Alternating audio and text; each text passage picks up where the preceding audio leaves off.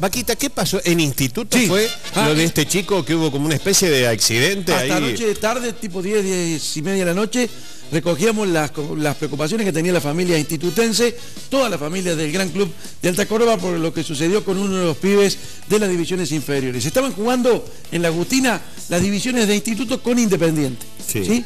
Y en uno de los partidos de la séptima división ocurrió un hecho lamentable. Mirá, esto le agradecemos las imágenes a Marcelito Bertona, Ah, mi amigo, el que conduce el Bar de la Gloria por Yo lo veo siempre. Mirá lo que le pasó al pibe Facundo Aristegui. Mirá, allá choca con el defensor y pega con el parante Ah. eh, que, bueno, que soporta, que tiene el alambrado Oh. perimetral. Le pega con uno de los de los eh, bloques de cemento que sostiene el alambrado. Fíjate, en esta toma fue una gran preocupación. El chico, gracias a Dios, pegó de costado con el, con, con el borde del de el, parante de cemento, ¿no? Esto no sé cómo hay forma de evitarlo, si hacer esos parantes con un acolchado, hacerlo de alguna manera.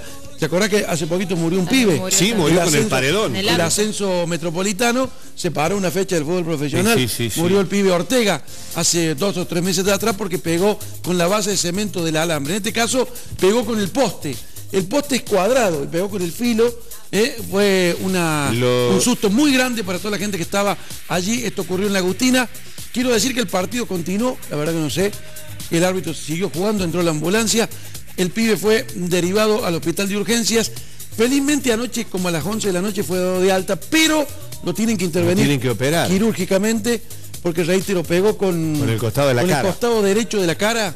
Yo pensaba anoche, ¿no? Y decía con Marcelo Bertona, con los chicos que estuvieron, estuvieron ahí cubriendo esta, estos partidos de divisiones inferiores, si pega de frente, si pega de frente, Sí, sí. con el borde del, del poste de cemento, hoy estaríamos hablando de otra cosa. El chico ya está en la pensión de instituto porque Claro, es mira, mira ahí, se ve allá al fondo, presten atención. Ahí en el fondo, no, acá se ve mejor, mira, Ahí- ahí, ahí va, ahí va. lo, lo cuerpean, Claro. el chico se, se- se desestabiliza. Está muy cerca. Y yo la- pega con la cara en el poste, un hecho realmente lamentable que pudo haber desembocado en una tragedia. Reitero, felizmente el chico fue dado de alta, está fuera de peligro, pero de todas formas hay que intervenirlo para corregirle ese golpe, el traumatismo que tiene Claro. en el costado podría haber sido fatal. derecho de la. Es clase 99, es decir, el pibe tiene 16 años, Jovencito. es delantero de la séptima chiquito. división del Instituto Atlético Central Correcta. Reitero, imágenes del Bar de la Gloria que agradecemos desde aquí, desde el show de la mañana, y nos alegramos que el chico momentáneamente esté bien, aunque obviamente debe pasar en los próximos días o en el próximo mes por el, el quirófano para Claro, tratar de corregir claro, ese traumatismo. en la No sé cómo se puede arreglar eso. hay que, hay que acolchar los postes. acolchar los postes, no sé cómo.